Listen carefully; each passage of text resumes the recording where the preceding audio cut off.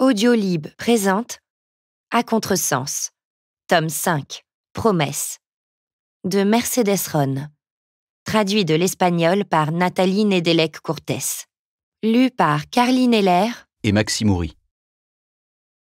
La dernière fois que je l'avais vu, c'était la nuit où nous avions rompu.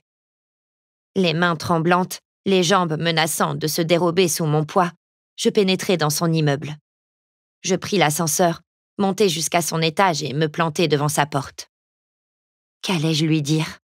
Que pouvais-je faire pour qu'il me pardonne, pour qu'il ne parte pas, pour qu'il recommence à m'aimer? Je sonnais à la porte, au bord de l'évanouissement. Je ressentais à la fois de la peur, un désir ardent et de la tristesse, et c'est ainsi qu'il me trouva quand il ouvrit la porte. Au début, nous restâmes silencieux, simplement à nous dévisager l'un l'autre.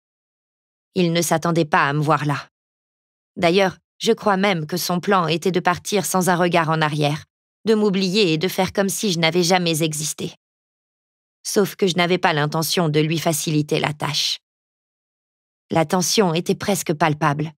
Il était si incroyablement beau avec son jean foncé, son t-shirt blanc et ses cheveux légèrement ébouriffés. Enfin, incroyablement était loin de la réalité. Il était toujours incroyable, mais ce regard, cette lueur qui apparaissait toujours sur son visage quand il me voyait arriver s'était éteinte.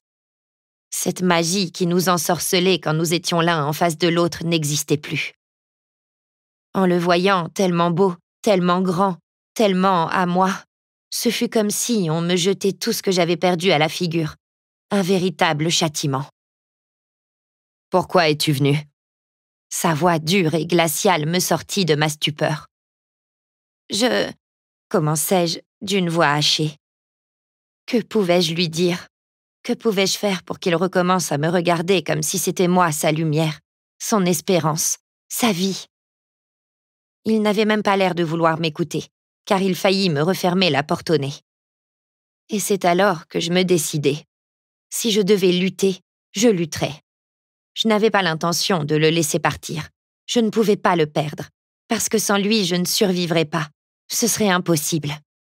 J'avais mal à l'âme de le voir là devant moi et de ne pouvoir lui dire de m'enlacer, d'apaiser cette douleur qui me consumait jour après jour.